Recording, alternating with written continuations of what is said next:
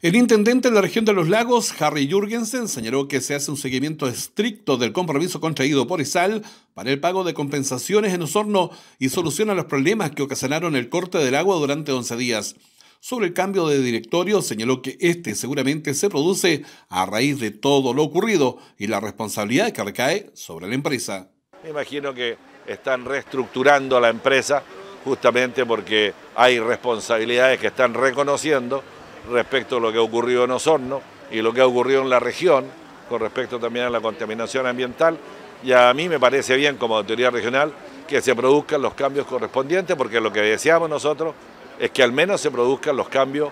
de, de servicios en ESAL, que no se contamine ningún río, ningún lago de nuestra, de nuestra región y que se atienda al servicio público del agua potable en forma continua, permanente segura y garantizada. La autoridad se reunió con algunos ministros para analizar los cambios a la legislación y normativas que deberán regir la operatividad de las empresas para evitar que sigan sucediendo hechos como el dosorno o el ocurrido con la contaminación del lago Yanquihue. Porque efectivamente el caso que usted toca, el de los aliviadores que pueden aplicarse según el contrato correspondiente cuando hay exceso de lluvias, es legal aplicarlo en esas condiciones.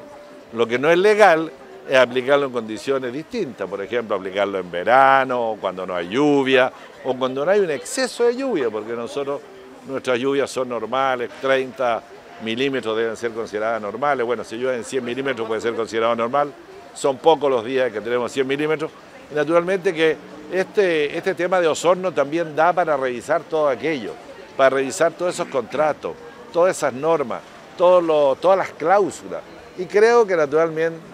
viene mucho más rigurosidad, las cláusulas van a ser mucho más restrictivas, van a ser mucho más duras como debe ser. Sobre las demandas de la gente que exige la caducidad de la concesión, Jürgensen dijo que todos tienen derecho a hacer los reclamos que quieran e incluso a recurrir a la justicia si así lo estiman pertinente.